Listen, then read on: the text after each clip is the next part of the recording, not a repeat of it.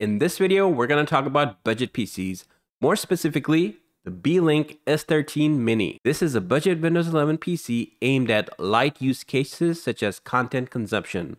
For example, this is great for watching videos on Netflix, browsing Facebook, checking emails, and doing some light work using Microsoft Office or Google Suite of applications. I would like to thank Beelink for sending this product for testing. They reached out to me to do a completely non-biased review, and I'll do my best to cover everything in detail so that we can decide if this is a good fit for you.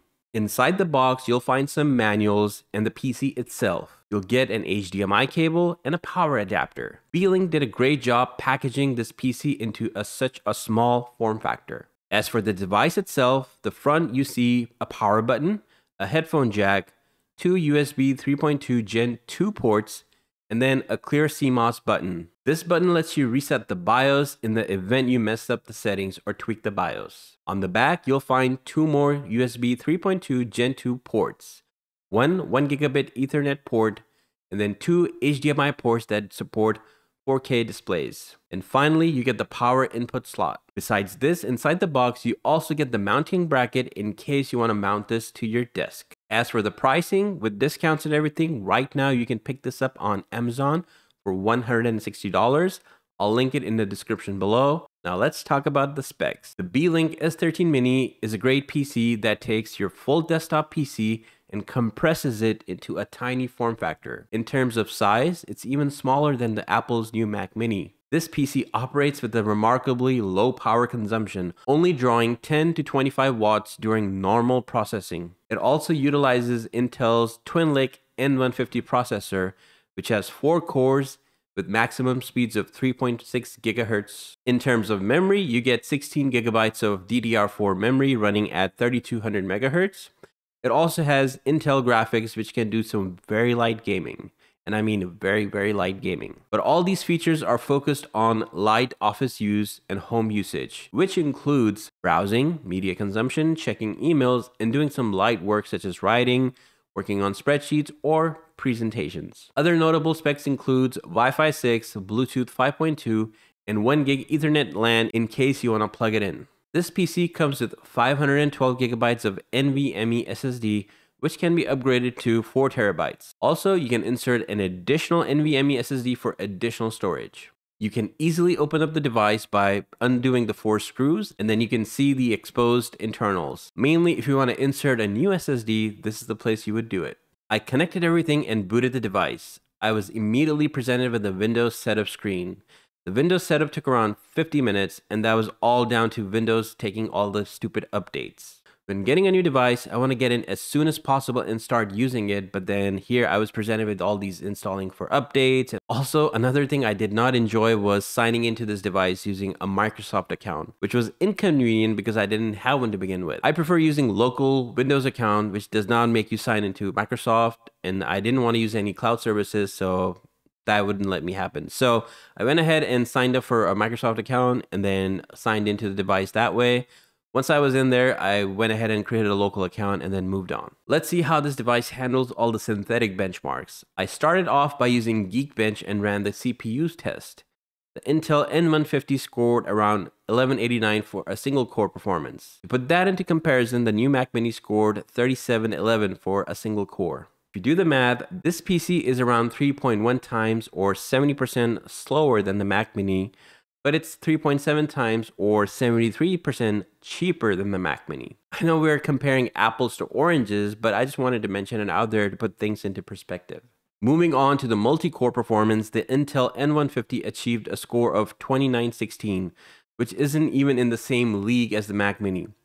However, it's important to remember that the Beelink S13 Mini is designed for light use cases such as basic productivity tasks, and it is not intended for gaming or intensive workloads. For its target audience, this offers a compelling balance of price and functionality. Moving on with the benchmarks, next I did a speed test to see how fast the SSD performed. The sequential write speeds were 398 megabytes per second, and the read speeds were 507 megabytes per second. This is not as fast by any means, but it should be fine as it offers decent read-write speeds.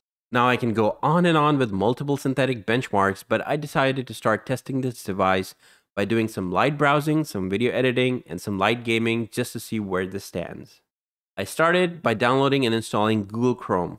I then opened around 14 tabs. Some were news articles, some were YouTube videos, and some were just uh, random websites. Overall, my CPU usage reached around 100% for the most part.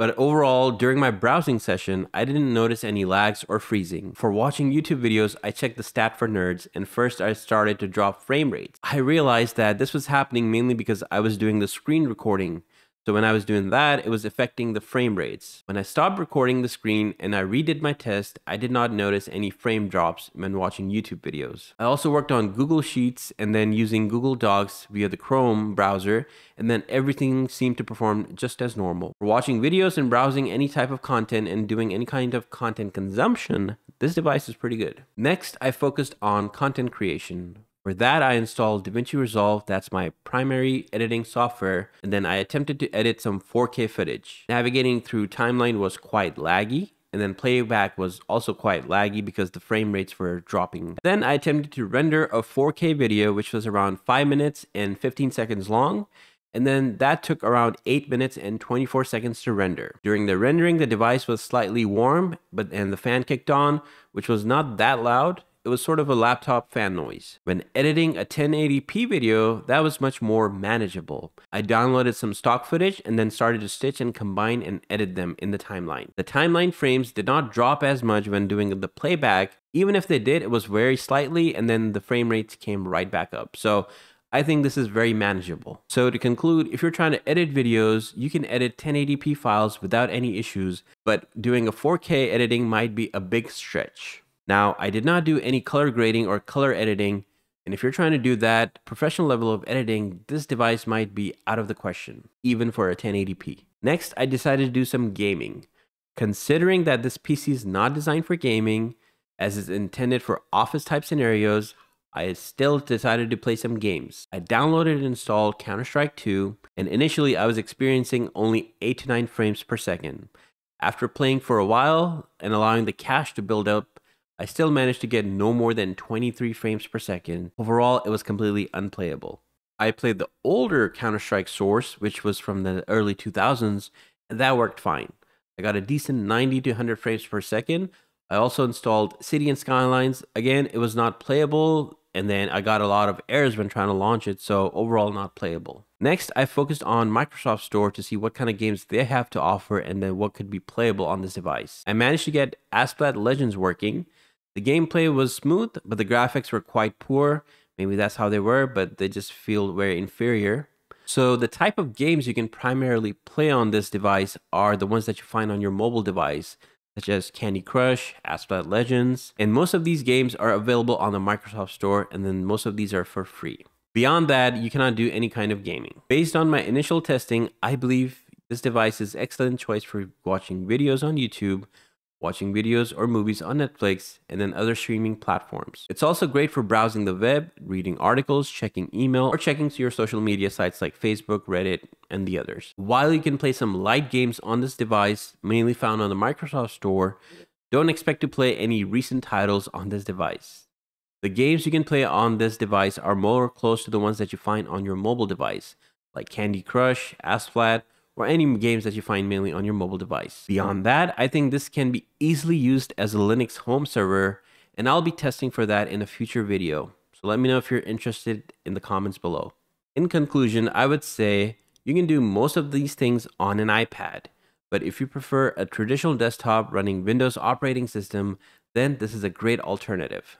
For its current price listed at $169, this is a decent PC, but I think beyond that price point, I don't recommend it. It's equipped with an Intel N150 processor, which has 16 gigs of RAM. It can handle your daily activities like browsing the web, doing social media consumption, or doing any kind of content consumption. Also, if you're using Microsoft Office such as Word, Excel, PowerPoint, then this is a great device for running those applications. But do keep in mind that this device does have limited processing power and may struggle with more demanding applications like high-end gaming or intensive content creation. Well folks, that's it for this video. I hope you enjoyed it. Remember to like and subscribe, and I'll see you in my next video.